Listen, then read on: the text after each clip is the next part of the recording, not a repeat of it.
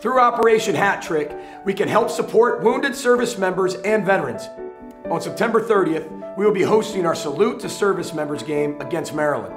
The men and women who have served in our military and defended our country are truly elite.